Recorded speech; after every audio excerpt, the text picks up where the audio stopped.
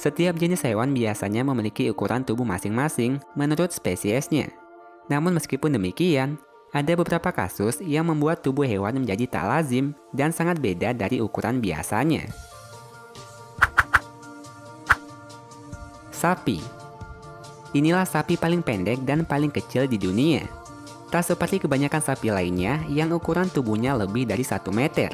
Sapi bernama Rani asal Bangladesh ini memiliki tubuh yang tingginya hanya 51 cm, panjangnya 66 cm, dan berat tubuhnya hanya 28 kg saja padahal usianya sudah mencapai 23 bulan.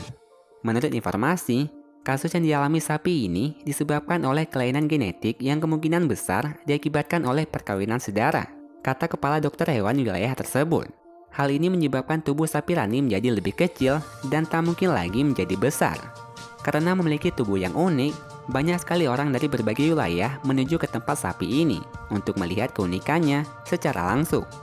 Namun sayangnya, pada 19 Agustus 2021, sapi Rani dilaporkan mati akibat penumpukan gas di dalam tubuhnya.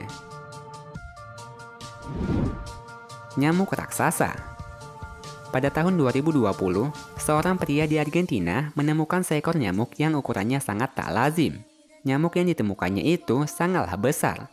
Ukuran tubuhnya berkali-kali lipat dari nyamuk biasanya.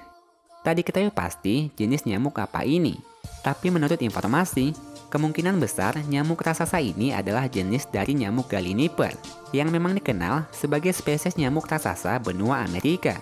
Bahkan, tak jarang banyak yang menjulukinya sebagai nyamuk monster. Kuda mini Kuda mini adalah jenis kuda yang memiliki tubuh sangat kecil. Ukurannya bahkan lebih kecil dari kuda poni, yang merupakan spesies kuda bertubuh kecil yang kebanyakan dikenal semua orang. Ukuran tubuh kuda mini hanya di bawah 1 meter dan memiliki tubuh yang sekilas mirip dengan kuda normal. Namun ukurannya saja yang mini, berbeda dengan kuda poni. Meskipun bertubuh kecil, kuda mini memiliki tenaga yang cukup kuat, jarang terkena penyakit, dan memiliki umur panjang. Tapi, kebanyakan orang hanya menjadikan kuda ini sebagai peliharaannya saja, karena tubuhnya yang kecil dan juga lucu. Ada beberapa jenis kuda mini di dunia ini, salah satunya kuda Falabella.